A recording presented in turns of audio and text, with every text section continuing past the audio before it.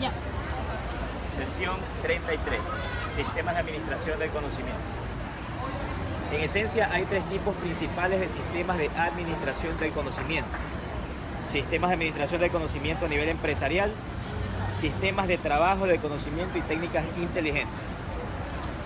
Los sistemas de administración del conocimiento a nivel empresarial son esfuerzos de propósito general a nivel de toda la firma para recolectar, almacenar, distribuir y aplicar tanto contenido como conocimiento digital.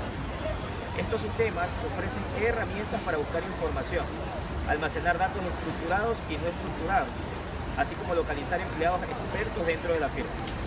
También proveen técnicas de apoyo como portales, motores de búsqueda, herramientas de colaboración, correo electrónico, mensajería instantánea, wikis, blogs y marcadores sociales, y sistemas de administración del aprendizaje. El desarrollo de poderosas estaciones de trabajo en red y software para ayudar a los ingenieros y científicos a descubrir nuevos conocimientos ha conducido a la creación de sistemas de trabajo de conocimiento, como los sistemas de diseño auxiliado por computadora, de visualización, simulación y realidad virtual.